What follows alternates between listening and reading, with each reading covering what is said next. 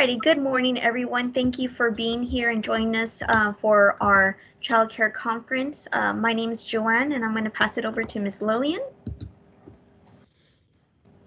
Good morning, everybody. Uh, my name is Lillian Mesquida, and I'm the County Extension Agent, Family and Community Health from Cameron County. And I want to say welcome to our childcare conference. Um, we are expecting from our speakers to provide a very helpful information for you so you can complete your clock hours. And um, what I do in Cameron County are different programs like Cooking Well with Diabetes, uh, Dinner Tonight, parenting classes, uh, anger management, child passenger safety, uh, Health Talk Express, step up, scale down, and walk across Texas. Those are some of the programs I can, you know, implement with uh, the people that they need the, that information. So you know what, if you need something, just let us know. We can we can help you with that. So welcome again, and I'm gonna pass on now to my coworker Joan. Howdy, everyone. First of all, I want to thank you all for um, your responsibilities. You do so much um, for the kids. And um, thank you for joining and learning a couple of topics here. My name is Joanne. I am the Family and Community Health County Extension Agent for Hidalgo County.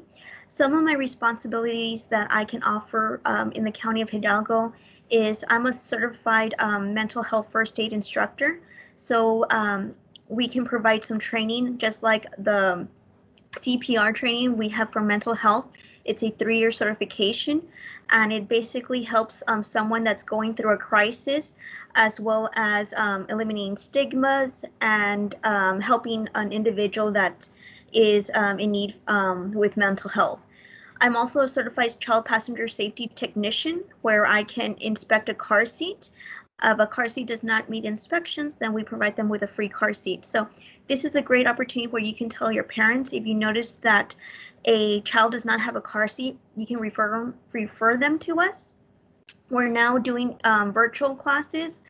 Um, eventually we'll get there face to face, but because of COVID reasons, we are going um, virtual for the meantime. We have our parenting classes where we talk about self-esteem, where we talk about parent-child communication, as well as positive discipline. We have anger management classes where we talk about the cost of anger, relaxation skills, um, a plan for real life coping. Um, step up, scale down, which we'll talk a little bit more about. It's um, and walk across Texas. It's uh, we're having this program in November, um, but we'll talk more about that. And I also have a volunteer group that I facilitate called the Master Clothing Volunteers, where we teach individuals how to sew. We have moved this um, online, so if anyone is interested in sewing, you can pick up our pattern here for the month, and um, you can learn through our virtual um, classes. Ms. Lillian, I'm going to move on to the next slide. I don't know if you have used Teams before, but this is a picture of uh, your Teams uh, screen. If you hover your uh, mouse on top of the screen, you are going to get this a bar and depends on what you need to use, you click on it, and that way you can uh, use uh, this bar to communicate with us. When you have a question, raise your hand. You click on the hand, and then you, you we are gonna see that somebody um, has a question. Or if you wanna talk to us in mute, uh, you have you can um, unmute your uh, mic, and that way you know we can hear what you wanna say. But this is the way we can use the bars and communicate with us. Yes. Joanne? We'll be monitoring the chat box. So if you have any questions, um, you're welcome to write that. Um, we'll address the questions at the end of every presentation. Um, as well, um, if the presenter says unmute your mic, well, um, you can um, already have an idea on how to unmute your mic. In addition, we're recording this program session, um, childcare conference, just in case uh, your colleagues are unable to attend or was having trouble um, trouble attending this meeting. This meeting will be recorded. We'll put the link um, on our website and um, then your colleague can click the video and then answer the post test. So here's the agenda for this conference. Um, it is from 9 in the morning and it'll end at 12. Uh, we have three presenters. Um, we've um, gotten these presenters based on our evaluation. So at the end of the, the program, we do ask that you complete this evaluation because it helps us bring those topics on what you all want to learn. So um, the first educational topic is the importance of play for children's mental health. And this is addressed by Miss Stephanie Bowman. She is a Prairie View um, County Extension agent. Um, we have um, at 10 o'clock, we have Taking Care of You, Mind, Body, and Spirit by Dr. Purcell. Um, we're going to be talking about mental health as an employee, how to do that. Um, you have to be your best to take care of those kids, right? And our last presentation is at 11 o'clock, storytelling. This is by Miss Peña. She is um, the librarian in, from the Weslaco. And then um, from 11:45 to 12, um, you will be completing your post test as well as an evaluation. I'll put it in the chat box, the post test, um, when I um, complete this presentation, but it is from the email that I sent out. If you don't have that email, don't worry. I'll put it in the chat box where you can download it. And um, as you know, to get your clock hours, you have to answer these um, these questions that is regarding the presentation. It's not um, difficult. You have trouble, um, don't hesitate to ask us. Um, but um, the pre presenters will cover those um, questions at the end. I'm going to pass it over to my colleague, Ms. Lillian.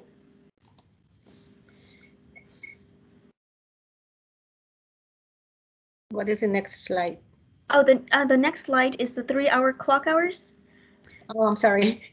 Yes, uh, you're gonna be getting three clock hours, and as I mentioned, my coworker mentioned before, you need to complete the post test, and then you have to email that to Joanne Resti. You have the email address there in your slide. And also, it's very important for you to complete the evaluation. The link is right there, so you click on it, and then you can complete the evaluation. And when you are done with everything, then you're gonna get your certificate uh, as long as you have paid and um, finish with your post test and uh, any questions that you have, you know, that you answer to that, then we're gonna give you the certificate. Yes. So Joanne? Thank you. And like I mentioned, if you didn't receive that email, don't worry, I'll, I'll link it at the the chat box. Um, so just give me a couple of minutes. Um, but before we begin with the conference, I want to let you know of a upcoming program that Lily and I are hosting. It's called um, Step Up, Scale Down, plus Walk Across Texas. It is um, a Rio Grande Valley um, program series. It is 12 weeks, and the whole intent of this program is to move to a healthier weight by um, providing you with education on nutrition and physical activity. So about 20 minutes will be done on nutrition, and then another 20 will be a physical activity exercise. the deadline to, to, register is the 26th of October, which is this Monday. Um, we'll provide you with a link there as well. Um, you get to choose if you want English or Spanish. It will be at 10 o'clock every Mondays. However, you can't attend. Um, we will have it recorded and just um, as typical, you'll just answer a couple of questions to get your certificate at the end of the 12 weeks. There will be a motivational Facebook group to continue to help you exercise throughout the whole week and eat um, healthy. Um, and as well, there are weekly incentives for the ones that have walked the most and has lost the most um, pounds in there. So um, it, this program's free. We encourage you all um, adults to um, register. And it's more because during holiday, we have the Halloween, the candies, we have Thanksgiving, the pies. Um, December, we have tamales. January, we have buñuelos, right?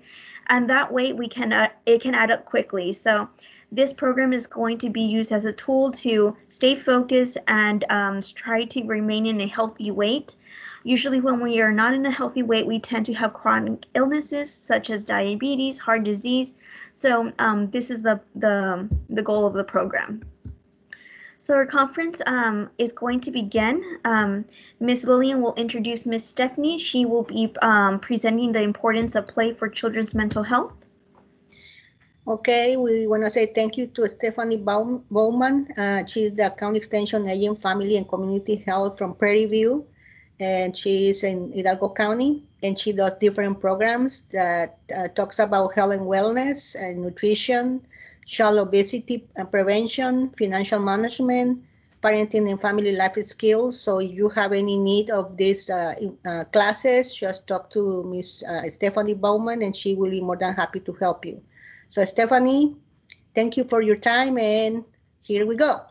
Thank you so much, Lillian. Good morning, everyone. I'm going to um, set up my um, PowerPoint and share my screen. So give me a second to do that. Let's see.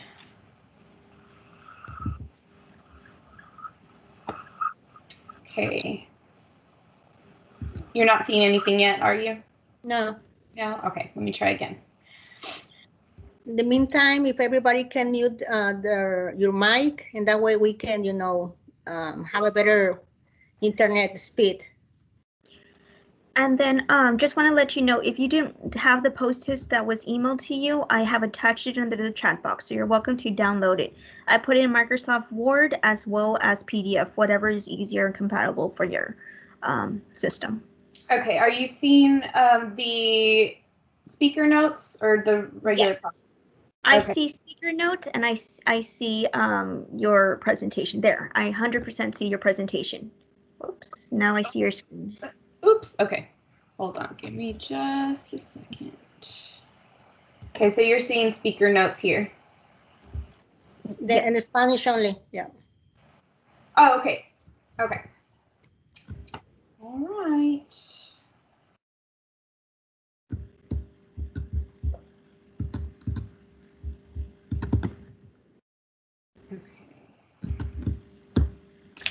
Okay. There. All right. Well, good morning, everyone. Uh, my name is Stephanie Bowman, um, and I work for the Cooperative Extension Program out of Prairie View A&M University.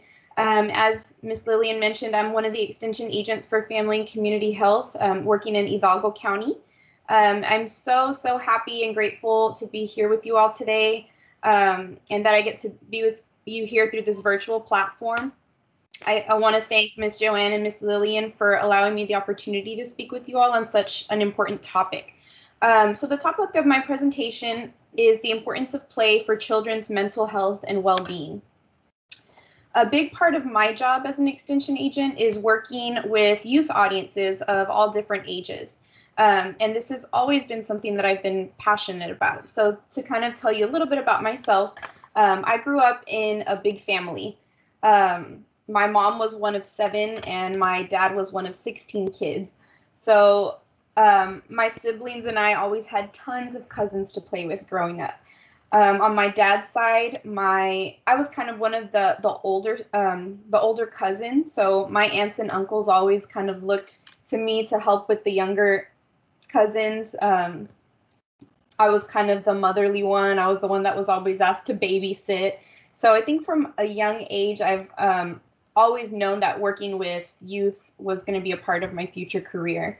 Um, and I've always been really fascinated with the stages of child development. Um, and now I have two kids of my own. I'm um, a mother of twin boys. They're two and a half right now.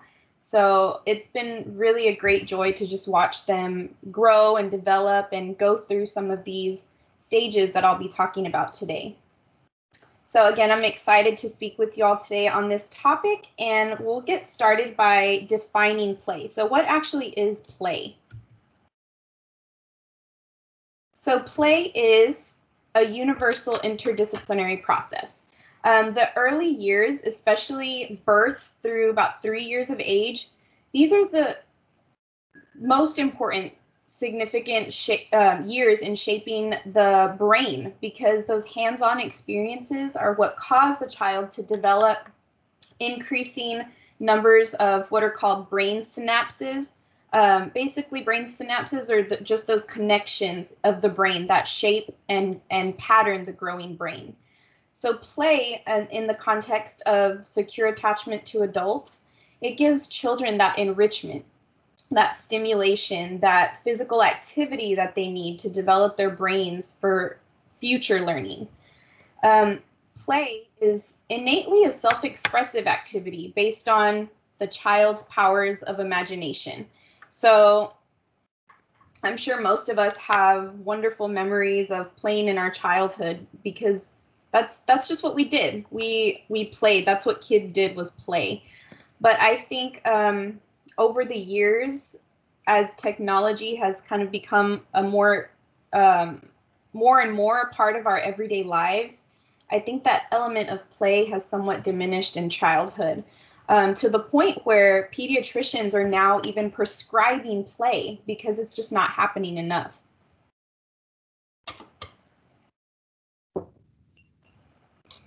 Across cultures, oh, I went too far. Okay. Across cultures, um, play tends to involve the same things, um, the same overall arcing themes like nurturing. Um, you know, you see kids playing with dolls and mimicking some of the things that they see um, as far as nurturing, feeding the baby dolls and, um, you know, rocking the baby to sleep. So nurturing is one of those um, it, themes of play. Uh, family relationships, roles of different people in their lives. These are some of the themes that you see um, in children's play. And then also play just as is just as important as some of the other fundamental rights of a child like health, nutrition, water and sanitation, adequate standards of living, um, an education, leisure, cultural activities. All of these are fundamental rights um, of a child. And right alongside those things, play is just as important as one of those uh, relevant elements to ensure maximum development of the child. So overall play is all about having fun. So any activity, whether it's organized or unstructured, that your child finds fun and enjoyable is considered play. Um, but of course, we know that play is much more than just having fun for your child. There's a lot that's going on in their brain. Um, and as a child grows, they go through different stages of play development. While playing, children learn and develop some of those important skills that they're going to continue to use in their lifetime. Things like problem solving, creativity, um, willingness to take risks. All of these are just a few of the skills that are developed through play. So let's talk about some of these stages of play development. The first one um, is called unoccupied play. So this happens between birth up to about three months of age. So this is where the stage where baby is just making a ton of movements um, with their limbs, their arms, legs, hands, feet, um, and they're really learning about and discovering how their body moves, what, how different body parts work, and what they can do. Um, so that's unoccupied play. Then we have solitary play. Um, this is birth to about two years of age. So at this stage, the child plays alone. Um, they're not really interested in playing with others quite yet. They're in their, their own little world, so to speak. And then we have spectator onlooker behavior. This happens about two years of age. Um, and during this stage, a child begins to watch other children playing, but doesn't necessarily play with them. So they're starting to get a little more curious. They're starting to um, watch and see what other children are doing, but still not interacting too much. Then we have associate play. Oh, I'm sorry, parallel play. Um, parallel play is starts at about two years of age and up. Um, and this is when your child starts to play alongside or near others, but still doesn't necessarily interact or play with the other children. This stage is referred to as parallel play. We have associate play. This is between three and four years of age. So now the child is starting to interact with others during play, um, but there's still not a large amount of interaction at this stage. So a child might be doing an activity related to the kids around him, but might not actually be interacting with another child. So for example, um, kids might all be playing on the same piece of playground equipment, but all doing different things. Like one child is climbing, another one is swinging, another one is sliding, etc. So they're starting to interact a little bit more. Then we have cooperative play. So cooperative play um, is about four years of age and up. So this is now when a child um, begins to play together with others and has interest in both the activity and the other children involved in playing. That's considered cooperative play. So we're going to talk about some of the, the benefits or the powers of play. So the first one is it stimulates early brain development. So playing can promote a child's brain development in so many different ways, um, including providing the children with those crucial life experiences to set the ground for brain growth. Um, infant brains are equipped with an overabundance of those brain cell connections that we talked about, those synapses. Um, they have an overproduction of those brain cell connections from an early, early age, infant, infanthood.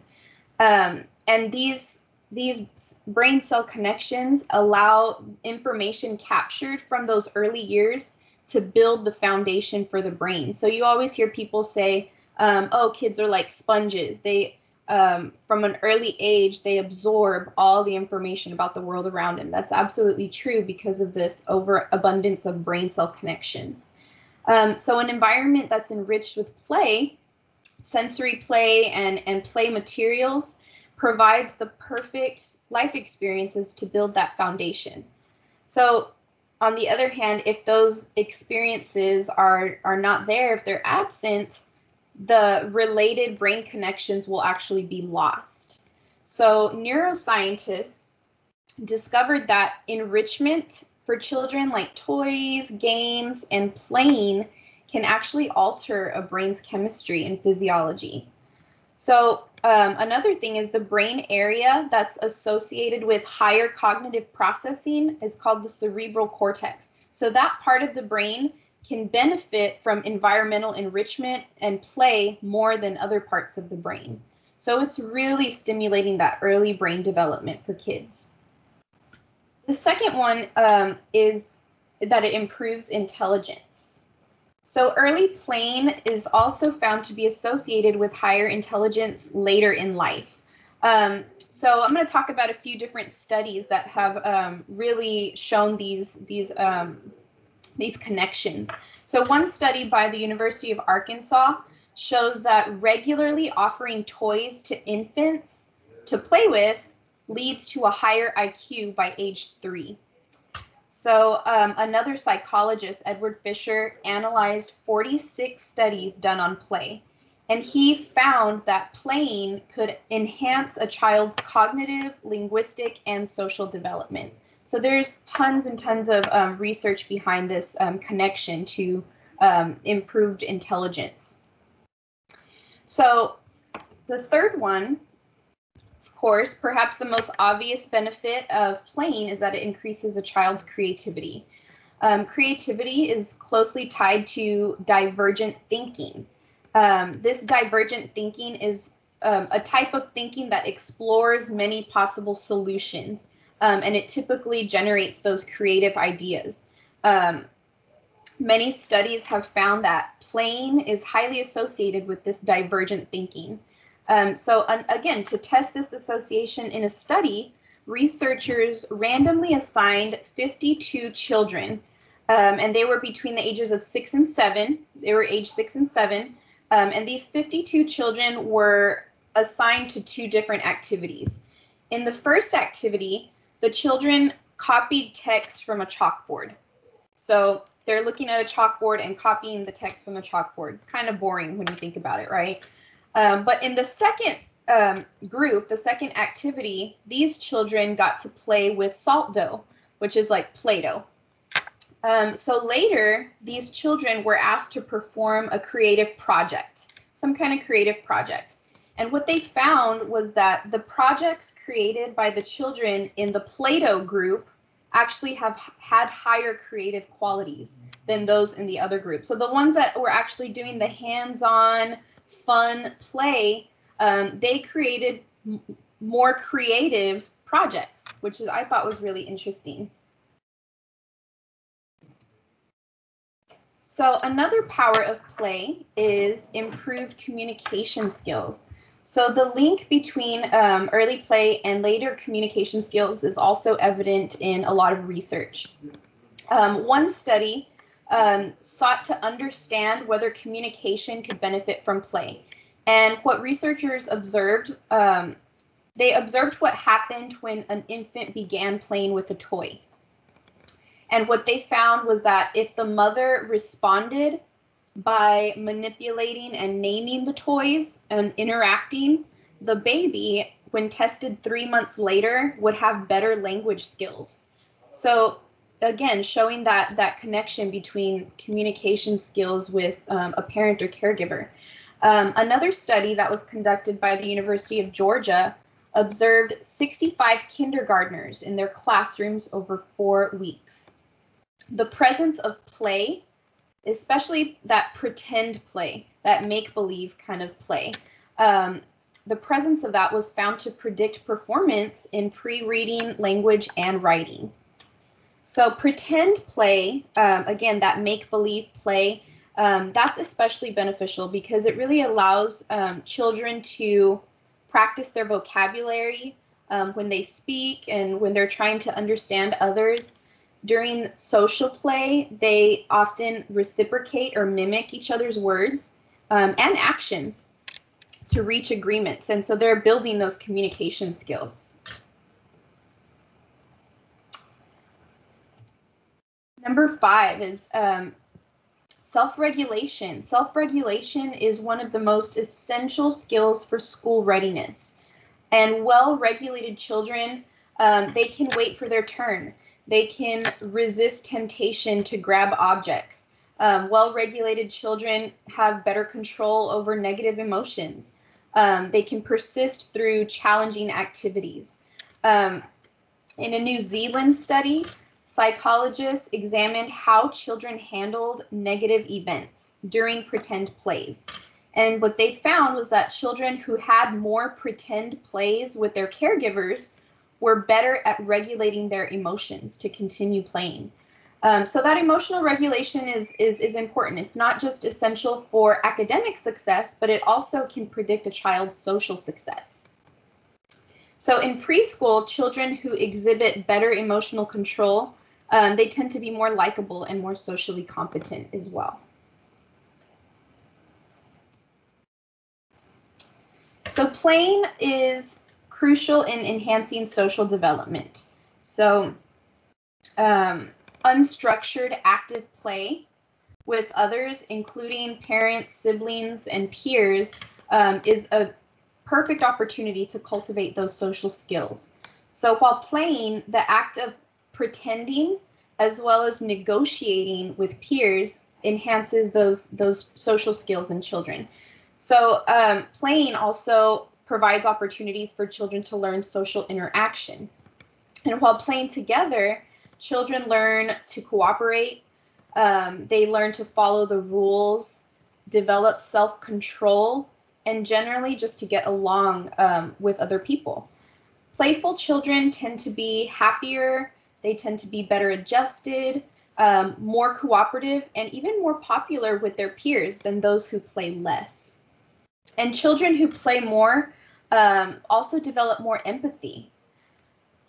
Um, and empathy, of course, is another essential element that advances social skills. Um, so those children, um, they grow to have a better understanding of other people's feelings, um, of other people's beliefs.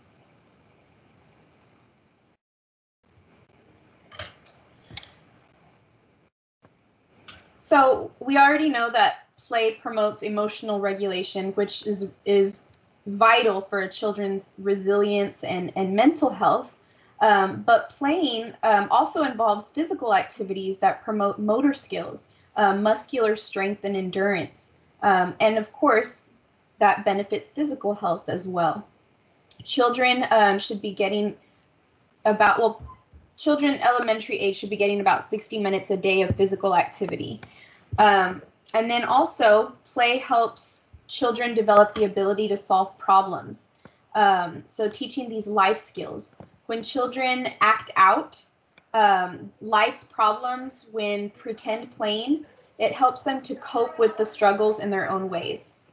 And it also um, provides a safe op opportunity for children to rehearse skills and future social roles. Um, when children try out various roles they learn to take on different perspectives, which is again going to further assist them in that abstract thinking. So think about when children play um, play these roles of teacher, or I'm the mom, or I'm um, a doctor. So these um, roles are actually helping them to um, rehearse skills. Parents who play with their children and, and caregivers um, who play with the children form a, a, a, stronger bond with the children. So even simple games like peekaboo, um, these can be those special bonding moments for caregiver and children. Um, these interactions provide positive life experience, um, life experiences that are going to stimulate brain development.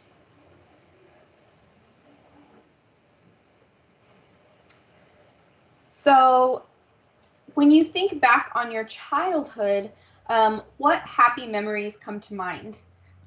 Um, and feel free to, to share. I can't see the chat box, but feel free to share some of your favorite childhood memories. Um, you know, adults today tend to think back on their childhood play memories with that nostalgia. Um, and, you know, we hear people say, oh, the good old days, those were the good old days. Um, but we all have these memories, um, memories of joyful and meaningful play experiences. Um, they can really help bind families together emotionally, even long after children are grown. So I know I love um, to reminisce with with my family and my siblings, and oh, remember when we used to do this, and we used to. Um, so I'll give you a, uh, an example. Me and my siblings were always outside um, and we were surrounded by uh, our house was surrounded by cornfields. So we used to go and pick the corn husks and um, play and pretend we were cooking. And we had a little tree house in the back. And, you know, we came up with all sorts of games and um, ways to play. So uh, feel free if anybody wants to unmute your mic, you can as well. But um, what are some of those favorite childhood memories that come to mind when you think about play?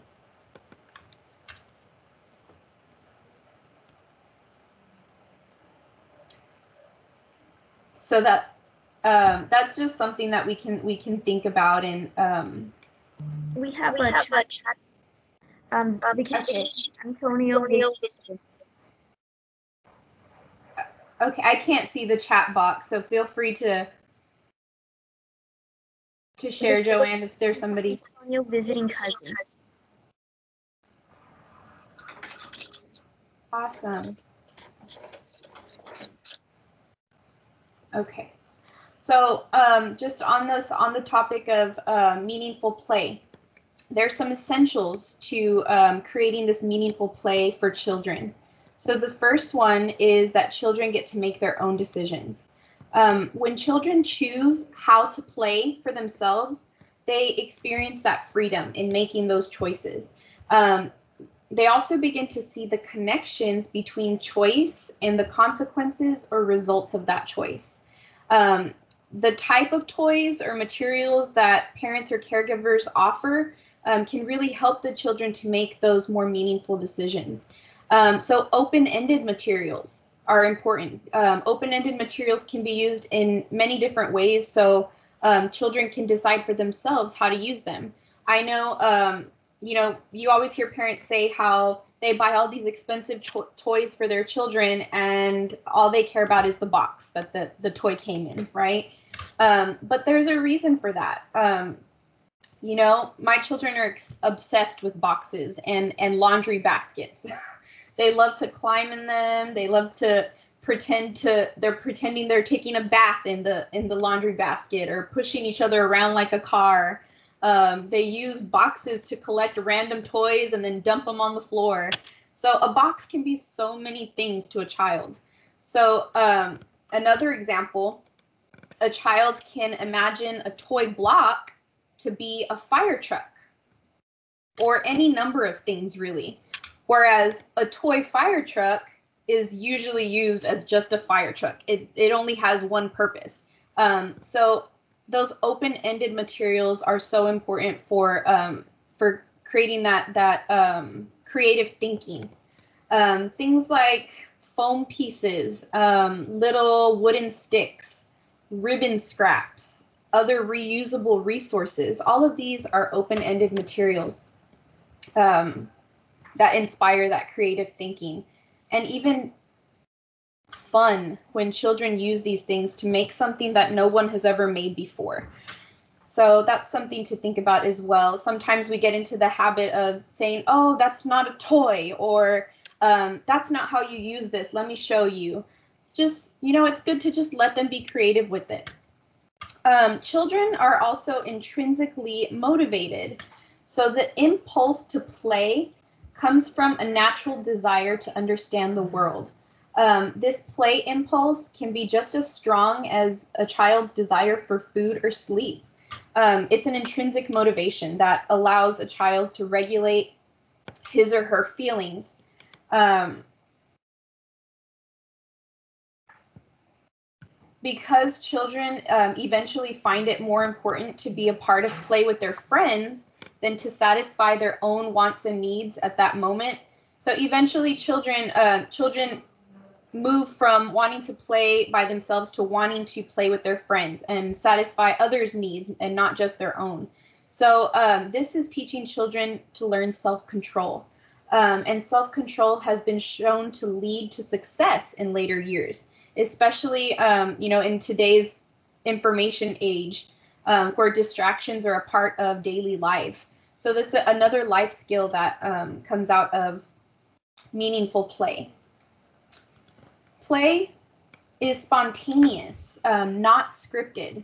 Often, um, play is totally unplanned, um, and other times, play is planned, but a child might impulsively make a change. Um, so one one um, the child changes his mind, um, or you know perhaps the toy doesn't cooperate, and the the play changes, right? So this sense of the unknown provides children with opportunities to develop flexibility in their thinking um, and decision making, which again is another vital life skill. And then the most important um, element for meaningful play is that it's enjoyable. Um, play has always always has an emotional response attached to it. So without this emotional connection, the experience is simply just an activity it's not considered play. So that enjoyment is the direct result of engaging in play and it's fun. So these five essential elements um, outline why play provides a child with this rich experience. So here, um, I just wanted to share a couple of quotes that relate to play. Um, this first one says, play is our brain's favorite way of learning. Um, as I mentioned in the very beginning, the concept of play is referring to those hands on experiences. And I think even as adults, I, I think that we take more away from those hands on experiences. Um, some of you may also be familiar with um, the 4 H program, which is the youth development component of, of extension, of the extension program. Well, one of the 4 H slogans is learn by doing. Um, so when I think about you know different conferences and and professional development opportunities that um, I've participated in. I think the ones that I remember most um, are the ones where hands-on activities were a part of the learning experiences. So it's just you know that's our brain's favorite way of learning. And then the second quote I have here says, "Children need the freedom and time to play." play is not a luxury, play is a necessity. So we've seen that there's um, so much research um, that shows the benefits and necessity of play, yet it's still getting cut out um, as something that's not important or not as important as academic learning or um, school.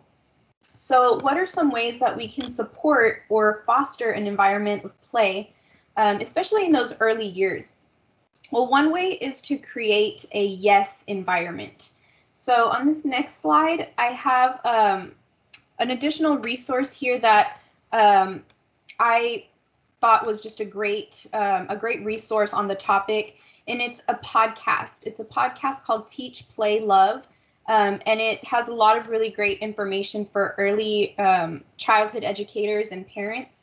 And this particular episode um, is is on um, play. It's called "Say Yes to Play," um, and it's a specialist. I believe she's um, a specialist in education and development, and a new mother, and they're conversing about the importance of play. Um, if you have some time, the video is is like 16 minutes long, I believe, but Um, it's a really great podcast. I encourage you to listen to the whole thing. I'm going to play a short little snippet for you, um, and it's just where they're talking about how to create that safe environment for children to play freely. So I'm going to um, play a short snippet.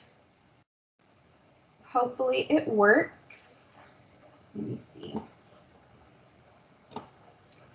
This is Teach Play. Start it about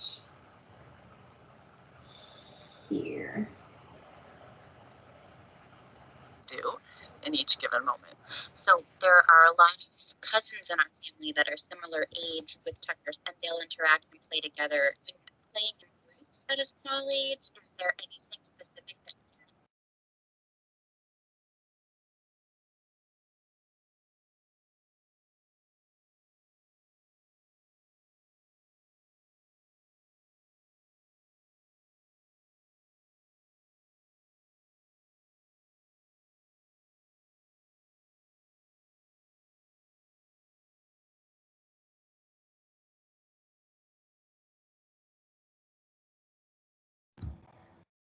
I don't think we can hear. Is it is it working?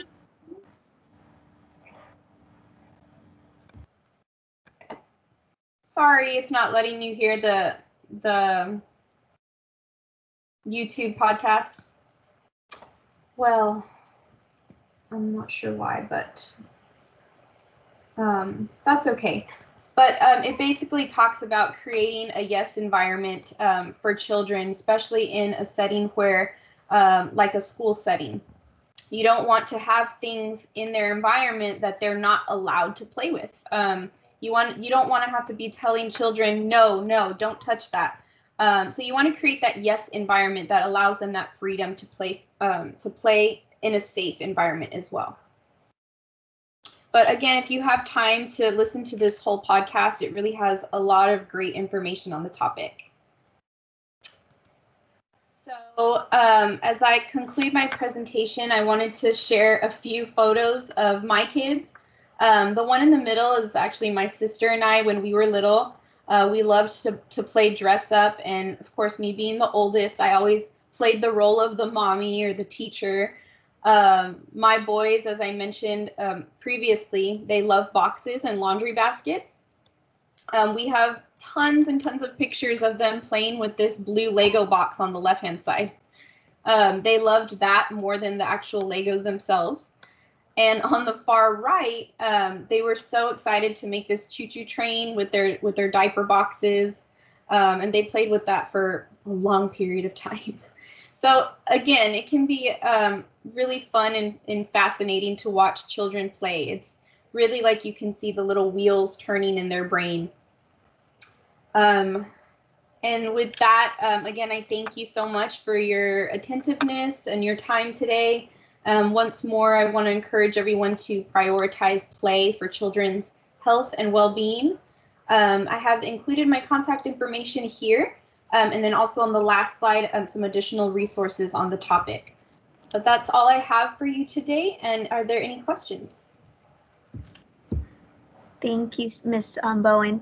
Um, before we uh, let you leave, um, regarding the post test, um, I do have um, true or false children should always be shown exactly how to play with toys and materials. The answer is false. Is that correct? We should let the children. The Um, answer is false because, um, especially with those open-ended materials, um, you know, we talked about um, allowing them freedom to play with it the way that they that they they want and to use their imagination. So, um, just because a toy has one specific purpose, you know, we can allow them freedom to to um, um, use their imagination as well. So it would be false. Great. And then um, the second one, at what age um, to, do children begin to participate in a cooperative um, play? Is So- that four and up? Cooperative play happens at four and up. Yes, ma'am. Okay, so it would be um, A and um, B and D. Okay. Any questions for Miss Stephanie? This is where we can unmute the mic or we can write in the chat box if you feel uncomfortable. We'll give it a minute.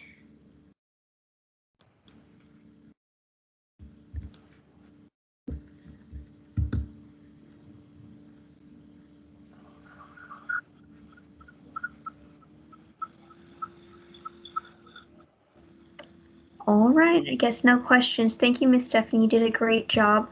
I learned a lot about um, the play and how important play is for children. And I really like that they can, um, we can leave their imaginations. They can do uh, whatever. Boxes are, are a great gift to have. Thank you. Thank you so much. All right. Um, next, um, we have an, another session that begins at 10 o'clock. Um, we have 10 more minutes. Um, they st- Miss Stephanie, they said thank you, great presentations, got good ideas for my classroom. Um, next, we have a presentation at 10 o'clock. Um, it's 9:51. If we can be back at 9:57, um, it'll be a coffee break, a stretch break, and then um, we'll continue with the next um, with the next um, presentation.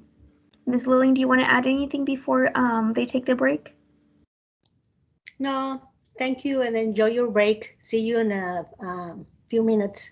Yeah, you can just um, leave it logged in and then um, come back soon. Thank you.